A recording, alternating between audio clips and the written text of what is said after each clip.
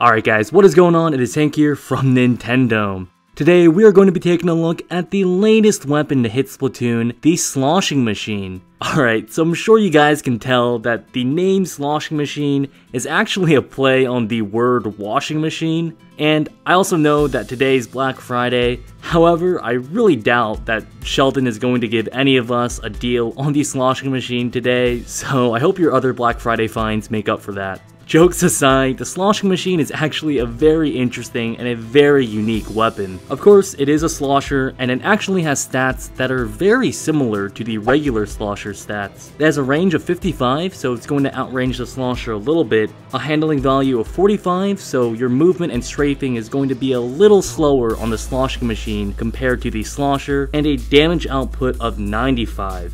Now this damage output is actually a bit misleading because although it does outdamage the regular slosher, it only does so when you fire with a direct hit. Now the unique aspect of the sloshing machine is how it spreads ink, and that sort of plays into this damage output confusion. So the sloshing machine actually shoots out ink in a straight narrow path, and it sort of explodes at the end of that path. It's kind of weird in that regard. It almost feels like a Rapid Blaster or even a Rapid Blaster Pro, and it actually functions pretty similar to a blaster's blast radius as well. So if you get direct hits, you're going to get a 2 hit KO, otherwise you'll be getting a 3 hit KO or worse.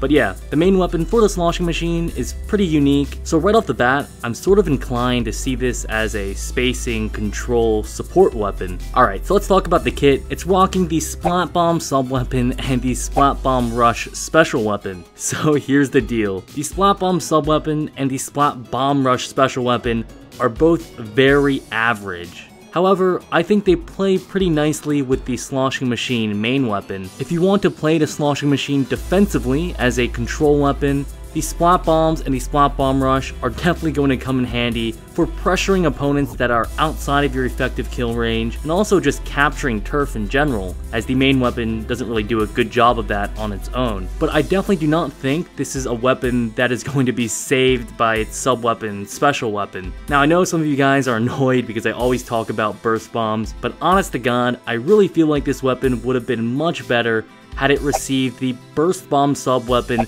and the Burst Bomb Rush special weapon. But hey, that's just the theory. A game theory. Alright, so in terms of abilities, the number one thing that I want to recommend is damage up. So like I said before, the damage output on the sloshing machine is pretty inconsistent, so I definitely think you're going to want to stack on a few damage up abilities. In addition to that, I'm also going to recommend swim speed up. That really shouldn't be a surprise. I really think swim speed up is one of the best stackable abilities in the game right now. But I actually do want to recommend something a bit more unique. Guys, today I'm to recommend Bomb Range Up. Now, hear me out, okay? I think if you want to use this weapon as a defensive control weapon, the added range and versatility that the Bomb Range Up ability provides you will definitely come in handy. With Bomb Range Up on this weapon, you can threaten more opponents and cover more turf.